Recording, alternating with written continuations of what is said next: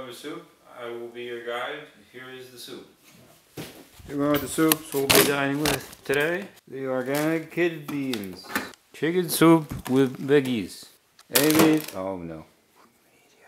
Mushroom something. Soup. Fresh straw. Um, something. L soup. This is a big can. Butternut squish soup. Is that soup? I don't think so. Where's the soup? here? Why is the butternut squish soup is yellow and that's good. The chili soup comes straight from the country of Amy's. Look out, the best soup of all is coming. The chicken soup is full of chickens, so don't open it or it's gonna get really loud. Organic black bean, I don't know what it tastes like. Maybe it's good. I don't actually know. The fresh straw soup, good for any horse to feed because that's what they eat. You like it fresh.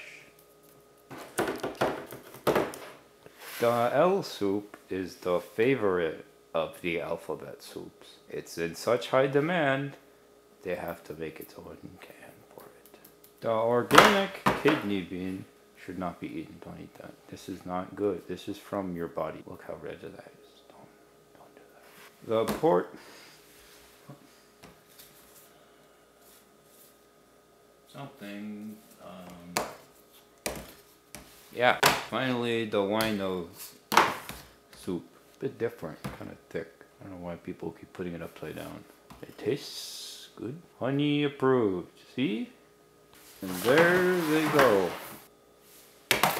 Tune in next time when I count the threads in my sheets.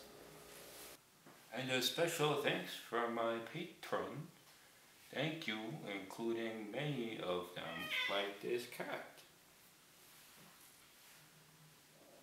Don't forget to click uh, that thumbnail.